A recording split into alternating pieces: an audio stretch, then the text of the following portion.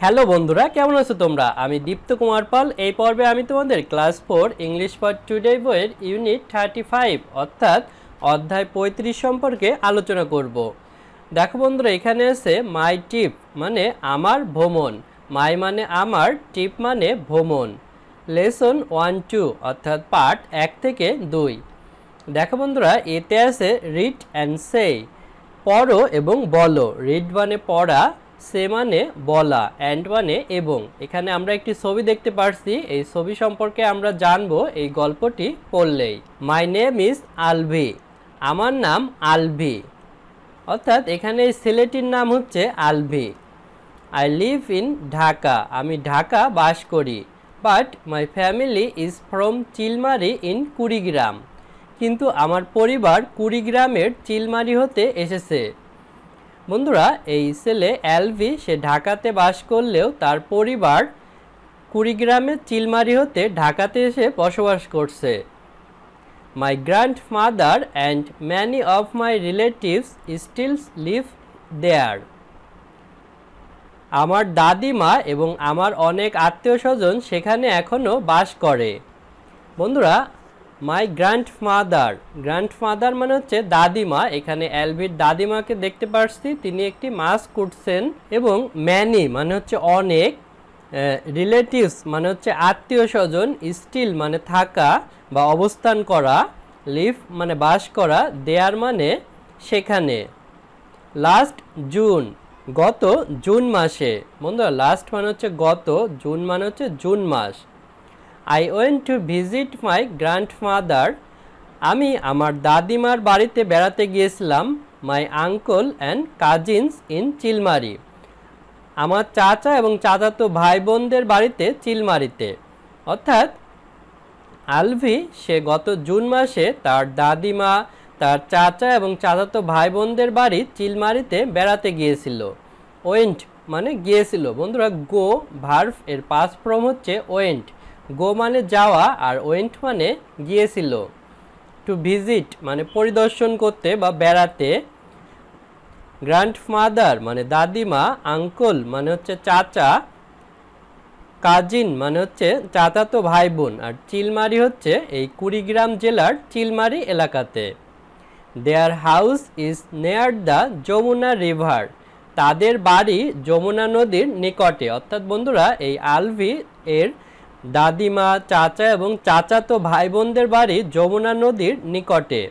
House মানে বাড়ি, নেয়ার মানে নিকটে। যমুনা রিভার মানে যমুনা নদী। রিভার মানে নদী, যমুনা মানে Yamuna. My uncle is a fisherman. আমার চাচা একজন জেলে। বন্ধুরা আঙ্কল মানে চাচা ফিশারম্যান মানে জেলে, অর্থাৎ যিনি মাছ ধরেন। My grand father was a fisherman আমার দাদাও ছিলেন একজন জেলে। বন্ধুরা গ্র্যান্ড ফাদার মানে হচ্ছে দাদা বা নানা বাট হি ডাইট অ্যাবাউট টেন ইয়ার্স এগো কিন্তু তিনি দশ বছর আগে মারা গিয়েছেন। বন্ধুরা বাট মানে হচ্ছে কিন্তু ডাইট মানে মারা যাওয়া অ্যাবাউট মানে প্রায় টেন মানে দশ ইয়ার্স মানে বছর, এগো মানে পূর্বে। অর্থাৎ তিনি প্রায় দশ বছর পূর্বে মারা গিয়েছেন। I don't know him. আমি তাকে দেখিনি। বন্ধুরা, নো মানে জানা বা চেনা, এখানে না দেখা বোঝাচ্ছে। When my sister and I visited Chilmari in June. যখন জুন মাসে আমি এবং আমার বোন চিলমারিতে বেড়াতে গিয়েছিলাম। We had so much fun আমরা অনেক মজা করেছিলাম। বন্ধুরা হোয়েন মানে যখন সিস্টার মানে বোন ভিজিটেড মানে ভ্রমণ করেছিলাম। ভিজিট মানে ভ্রমণ করা বা পরিদর্শন করা। এখানে ডি যুক্ত হয়ে এটি পাস্ট টেন্ট অর্থাৎ অতীতকাল হয়েছে। জুন মানে জুন মাস। উই হ্যাড হ্যাড মানে এখানে করেছিল। সো মাস মানে অনেক ফান মানে মজা।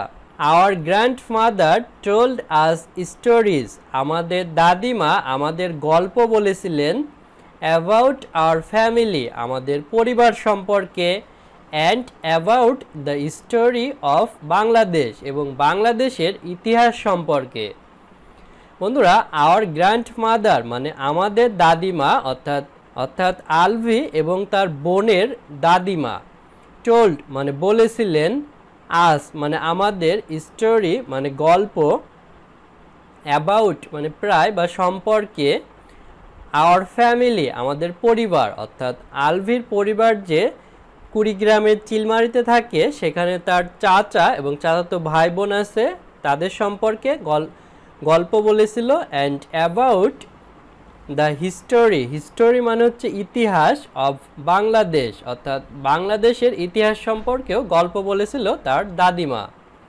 My uncle caught a lot of fish আমার চাচা অনেক মাছ ধরেছিলেন।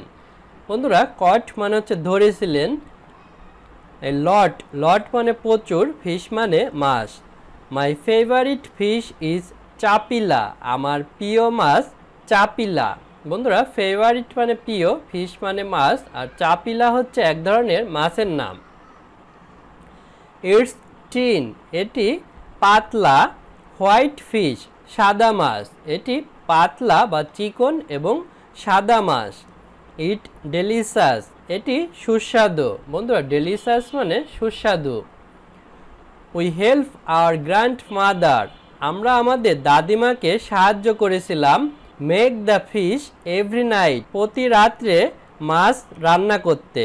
বন্ধুরা মেক মানে হচ্ছে তৈরি করা, এখানে রান্না করা বোঝাচ্ছে ফিশ মানে মাছ এভরি মানে প্রত্যেক নাইট মানে রাত। অর্থাৎ আলভি এর চাচা যে প্রতিদিন মাছ ধরে আনতো, সেই মাছগুলো তার দাদিমা কেটে সেগুলো রান্না করত। এই রান্না করাতে, এই রান্না করতে আলভি এবং তার বোন সাহায্য করত। We also made rice and vegetables আমরা আরও ভাত এবং শাকসবজি রান্না করেছিলাম। বন্ধুরা, এখানে দেখা আছে মেক মেক মানে হচ্ছে তৈরি করা বা এখানে রান্না করা বোঝাচ্ছে। আর এখানে মেক ভার্বের পাস্ট টেন্স মেড আছে। মেড মানে হচ্ছে তৈরি করেছিল, অর্থাৎ অতীতকালে। আর এখানে রান্না করেছিল বোঝাচ্ছে। রাইস মানে ভাত ভেজিটেবলস মানে শাকসবজি। It was a very special trip এটি ছিল একটি বিশেষ ভ্রমণ। বন্ধুরা ওয়াস মানে ছিল ভেরি মানে খুব স্পেশাল মানে বিশেষ টিপ মানে ভ্রমণ। We talk with our relatives আমরা আমাদের আত্মীয় স্বজনদের সাথে কথা বলেছিলাম। And learn about our family এবং আমাদের পরিবার সম্পর্কে জেনেছিলাম। অ্যান্ড আওয়ার কান্ট্রি এবং আমাদের দেশ সম্পর্কে। বন্ধুরা টক মানে হচ্ছে কথা বলেছিল রিলেটিভস মানে আত্মীয় স্বজন লার্ন মানে শিখেছিল বা জেনেছিল। ফ্যামিলি মানে পরিবার কান্ট্রি মানে দেশ। We also sang song together আমরা আরও একত্রে গান গেয়েছিলাম। বন্ধুরা স্যাং মানে হচ্ছে গাওয়া সং মানে হচ্ছে গানগুলো টুগেদার মানে একত্রে। বন্ধুরা, দেখো বিতে আছে পেয়ার ওয়ার্ক পেয়ার ওয়ার্ক মানে যৌথ কাজ, অর্থাৎ দুজন মিলে কাজ করা আক্স অ্যান্ড অ্যান্সার জিজ্ঞাসা করো এবং উত্তর দাও। আক্স মানে জিজ্ঞাসা করা অ্যান্সার মানে উত্তর দেয়া। বন্ধুরা, এখানে ছয়টি কোর্সেন আছে। এই কোর্সেনগুলোর উত্তর এখন আমরা দেব। Where does Alvi live Alvi কোথায় বাস করে? Answer Alvi lives in Dhaka. Alvi ঢাকায় বাস করে।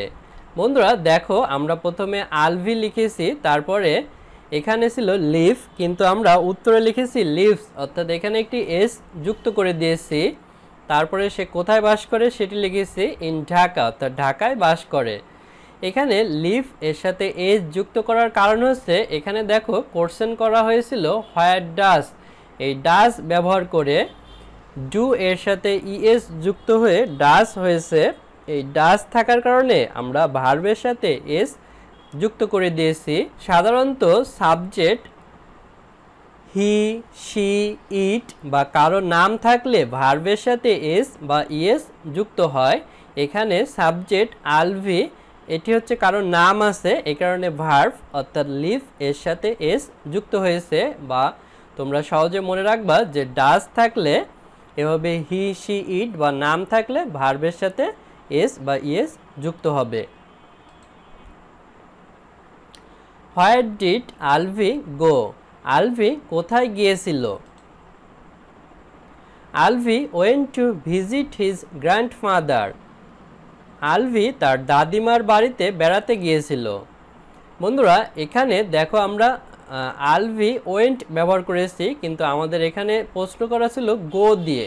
কিন্তু এখানে ডিট ডিট হচ্ছে পাস্ট টেন্স এই ডিট থাকার কারণে আমরা গো ভার্বের পাস ফ্রম ওয়েন্ট ব্যবহার করেছি।